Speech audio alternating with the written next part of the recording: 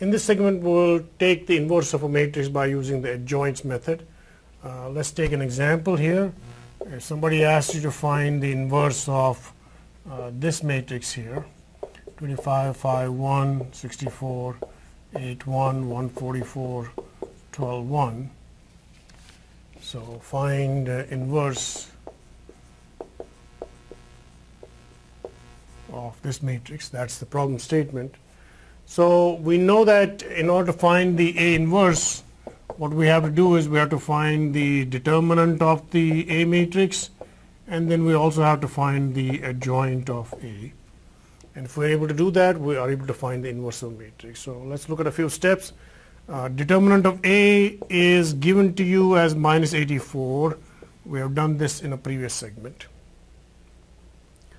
Let's go and see that how do you find the adjoint of A. As we said, the adjoint of A is going to be the based on the cofactors.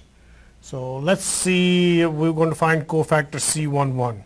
How do we find cofactor C11? Cofactor C11 will be corresponding to the element A11 which is 25 right here and that's defined as minus 1 raised power i plus 1 times M11 or 1 plus 1 I should say times M11. M, M11 is the minor uh, of the matrix corresponding to A11.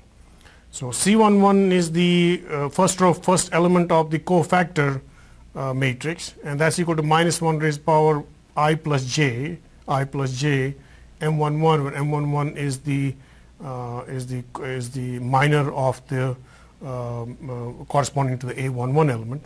So this gives us M11 itself. Now how do I find M11? I find M11, the minor of the entry M11 by simply getting rid of the first row and first column. So I get the first get rid of the first row and first column.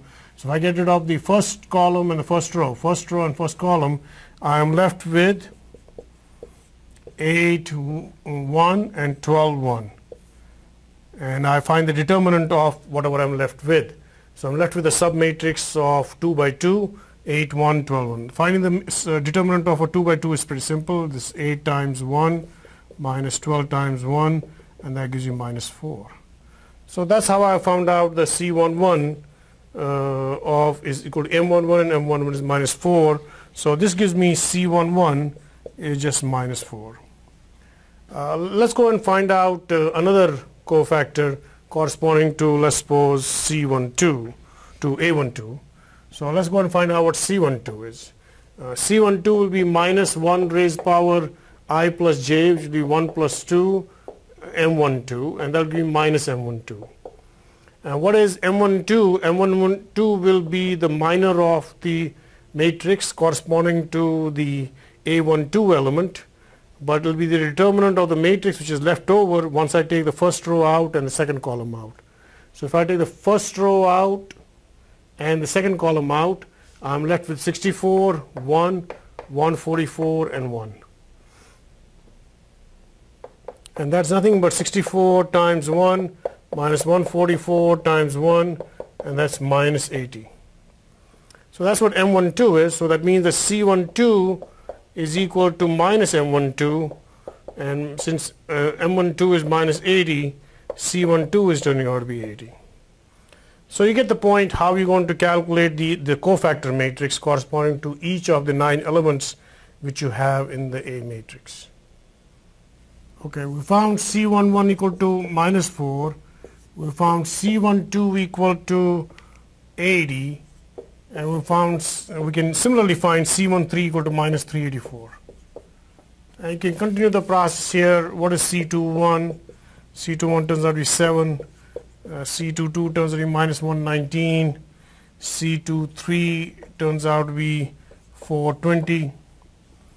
Then C31 turns out to be minus 3. C32 turns out to be 39. And C33 turns out to be minus 120. So these are the cofactors which we get corresponding to the nine elements of the A matrix. So now I can write my C matrix which is my cofactor matrix. And I'll just write in the matrix form. I get minus 4, 80, minus 384. It's simply putting these elements in the proper place. 7, minus 119, 420, minus 3, 39, minus 120. So in order to find out the inverse of the matrix, uh, all I have to do is to divide, uh, divide 1 theta by the determinant of the matrix, which is 84, uh, times the transpose of this matrix. So it will be the transpose of this matrix, is C transpose. So let me write this down. A inverse is uh, uh, the adjoint of A divided by the determinant of A. And the adjoint of A is nothing but the transpose of the cofactor matrix. So the transpose of this matrix is minus 4, 7, 3, minus 3, 80, minus 119, 39, minus 384, 420, and minus 120. And that's the transpose of this matrix. So that's C transpose. And I divide it by the determinant of the matrix. And if I do this division, I'll be able to find out what the inverse of the matrix is, which turns out to be, determinant of the matrix is minus 84. And it turns out to be 0 0.04672 minus 0 0.08333 0 0.03571 0 0.9524 1.417 minus 0 0.4643 4.571 minus 5.000 and 1.429 and that's how we are able to find the inverse of the matrix. You can extend this procedure to a 4 by 4 matrix or a 5 by 5 matrix, uh, but the hand computation is going to be lengthy. And even if you are going to use a computer and follow the algorithm here, uh, that also is going to start taking a lot of computational time. And this is the end of this segment.